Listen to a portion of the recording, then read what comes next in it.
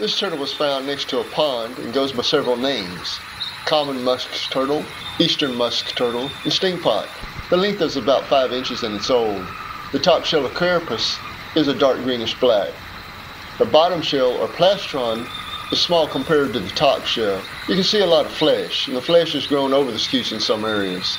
These traits distinguish a musk turtle from a mud turtle, which has a larger plastron.